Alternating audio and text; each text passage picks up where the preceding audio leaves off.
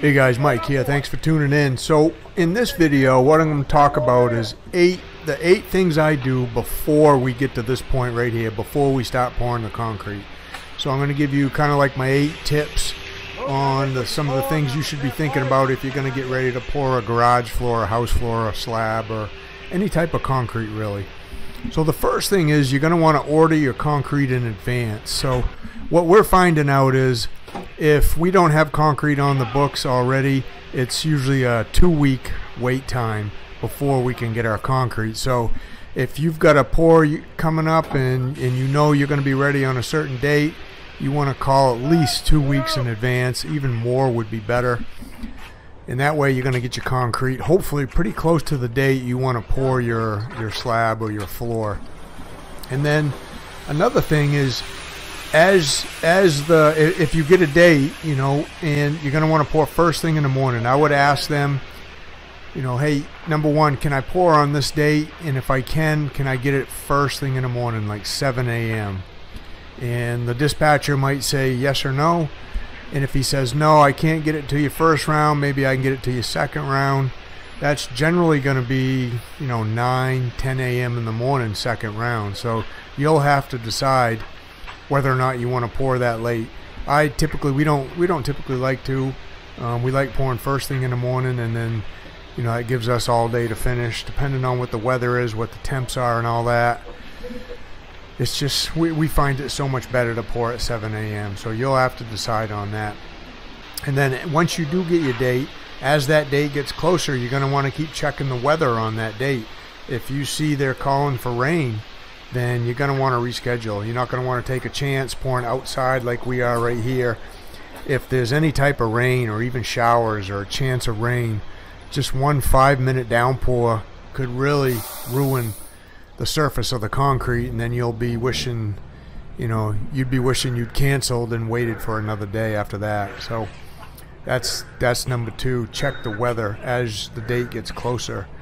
Uh, actually, number three. Pouring first thing in the morning was number two. So the fourth thing we I always do is I always tell them what I want for a mix design. Now, when we pour a floor like this, our mix design is 3,500 psi, three-quarter inch stone, fiber mesh for reinforcement. Uh, we always use a mid-range water reducer so we can pour a fairly loose slump like this one, a six, six and a half slump. And then we always have uh, air entrainment too on the garages we pour. We put air entrainment in because these garages may not be heated. They may still go through some freeze and thaw cycles. And then any exterior concrete we do, patios, walkways, pool decks, driveways, whatever, are always air entrained. So about five to six percent air, and that just helps with uh, the freeze and thaw when rain when it rains or snow or ice melts on the concrete, it gets absorbed into the concrete, and then those de-icing chemicals wear off, and that water refreezes inside the concrete. The air entrainment is going to help that concrete from popping, and it's just a little bit of uh, insurance against having some damage to your concrete. Another thing I like to tell the dispatcher is what slump I'm pouring the concrete at. Like on this one, I'll tell them, you know, hey, I want the mid-range. We're probably pouring around a six. That way, at, right after he batches the truck out, usually the driver pulls ahead, uh, washes his truck down, rinses his truck down. He tells the dispatcher what he's got for a slump in the drum before he even takes off to the job. So if you're pouring something where you need a pretty stiff slump, like maybe a set of stairs or something with a lot of pitch or a lot of slope to it, you might need a, a four inch slump. Uh, the dispatcher is going to want to know that because if he batches the truck out too wet, then you might send it back, and, and, he doesn't want that. That's for sure. So make sure you tell him the slump you're pouring him at.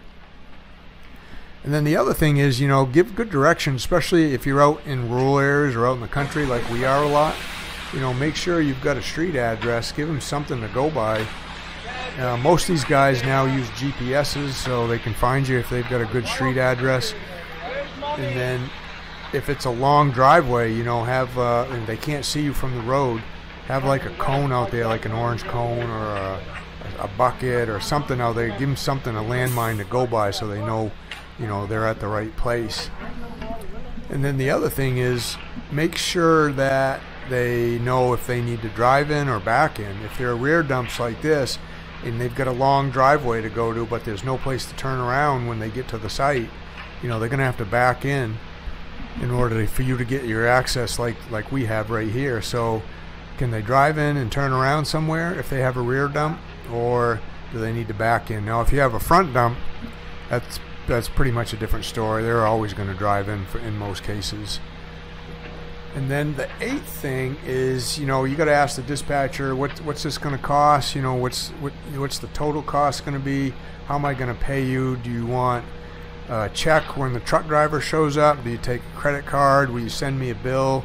You know, how are we going to pay for this stuff down the road? And then, actually, a bonus tip is make sure you have a place for the concrete truck driver to wash out afterwards too. He's got a he doesn't have to empty his drum if he's got concrete in his drum. He can bring that back and they'll either put that in a pit or they'll fill something a block with it or something. But he's got to be able to rinse all his chutes on site. Um, and you may or may not like on a site like this. That's pretty easy. They'll just be like a little, maybe a five-gallon bucket full after he gets done rinsing. But if you're in the city or something like that, you know, you got to make sure that he's not going to rinse out on somebody's lawn. You got to have something for him to rinse out in. So those are those are pretty much the eight or nine things that I uh, make sure that we have in check before we get to a job like this. So order your concrete in advance, number one. Make sure you keep checking the weather, number two. Ask if you can pour first thing in the morning, number three.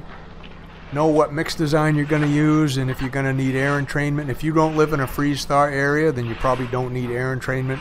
Probably half the country lives in a freeze thaw area, though, or maybe a little more than half.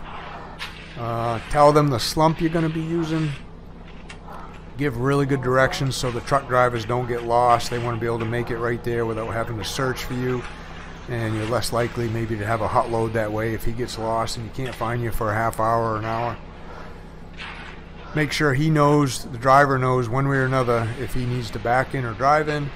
And then you got to know, want to know what the cost is, and then have a place for them to to wash out. So that's pretty straightforward uh, as far as we go because we pour concrete every single day. Um, and I tell them just whatever they need to know.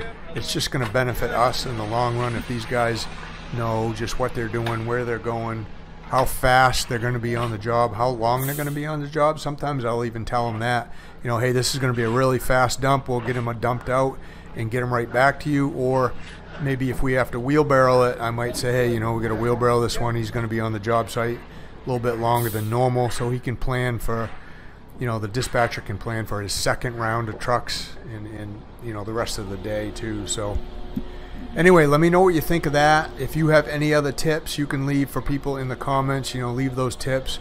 We can talk about them in there. If you like the garage floor we're pouring here, just a basic, pretty basic garage floor with a two-inch slope from back to front. Uh, we'll end up tapering those doorways down, so when the garage door sits down, it sits on that taper. We'll power trowel this. We'll saw it today, and that'll be it. Thanks for watching, guys. We'll see you on the next one.